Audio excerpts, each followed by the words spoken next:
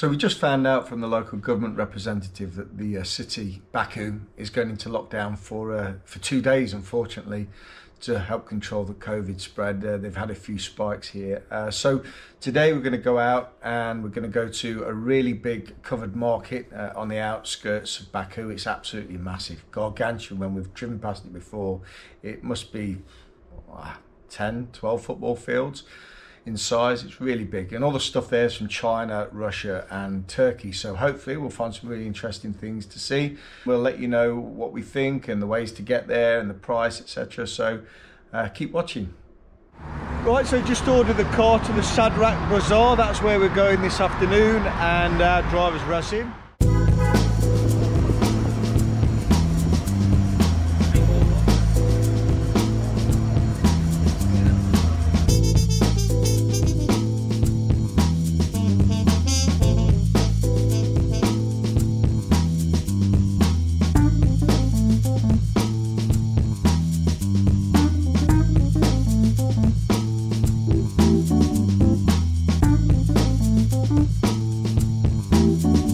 So we're at the Sadrak Mall. It's uh, the biggest bazaar in the region, and we've already been walking for what, about 10 minutes. Yeah. And it's um, it's massive. This is a closed section. We've seen some toys, lights. Incredible. Absolutely massive. It seems to be quite busy, but um, But the size of it, I'm, get I think uh, you could probably find anything you wanted to in this mall. It's massive.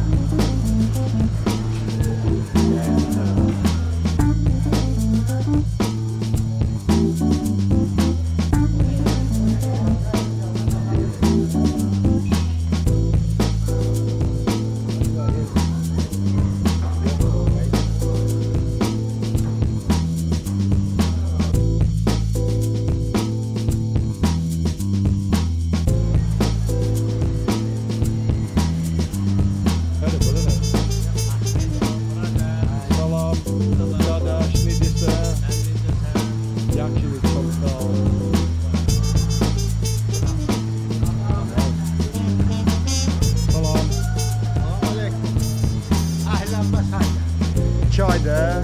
Çay bir de asıl zaparı. Et 30 alı veririm. Et 30. We thought we'd have a look just around inside to uh, see what it's about, a bit of local Azerbaijan. It's good, isn't it, Jeb? Yeah, it's great in the bazaar. Yeah, really good. So there's there's fruit, there's spices, um, nuts, chai, everything's going on here. It seems a pretty good place to do business. It's um, really busy. But the variety and the quality of the food is absolutely phenomenal. Um, for an hour or so to wander around here, it's a pretty good thing to do. Cheap and cheerful.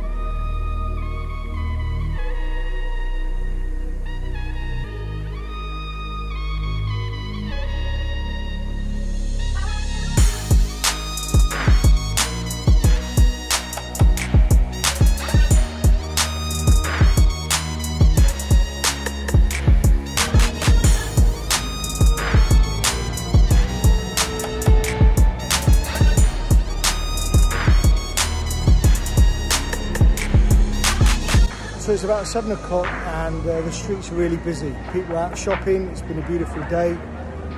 Uh, we've been in lockdown for two days, so people are eager to get out. Just people watching, shopping.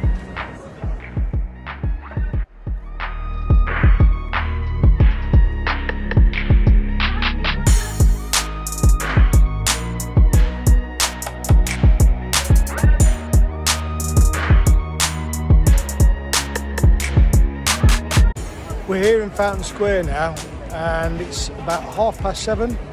Really busy, starting to fill up with people. McDonald's behind me, pizza to the left, and lots and lots of people. Lots to see and do, and lots to watch as well. If you like people watching, this is the place for you.